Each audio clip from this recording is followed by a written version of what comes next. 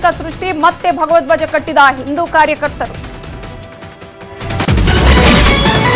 ಕೋಲಾರದಲ್ಲಿ ಹೆಬ್ಬಾಗಿಲಿಗೆ ಖಡ್ಗದ ಆಕೃತಿ ನಿರ್ಮಾಣಕ್ಕೆ ಸೈವರ ವಿರುದ್ಧ ಎಫ್ಐಆರ್ ದಾಖಲು. ಶಿಸ್ತು ಕ್ರಮಕ್ಕೆ ಕೋಲಾರ ಸಂಸದ ಮುನಿಸ್ವಾಮಿ ಆಗ್ರಹ.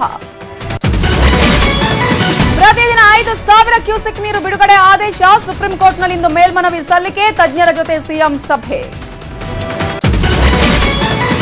ಕೆಜಿಎಫ್ ಟು ಆಯ್ತು, ಬರ್ತಿದೆ. ಕೆಜಿಎಫ್ ತ್ರೀ ಮುಂದಿನ ವರ್ಷವೇ ಶೂಟಿಂಗ್ ಶುರು. ಎರಡು ಸಾವಿರದ ಇಪ್ಪತ್ತೈದಕ್ಕೆ ರಿಲೀಸ್ ಹೊಂಬಾಳೆ ಫಿಲ್ಮ್ ಪ್ಲಾನ್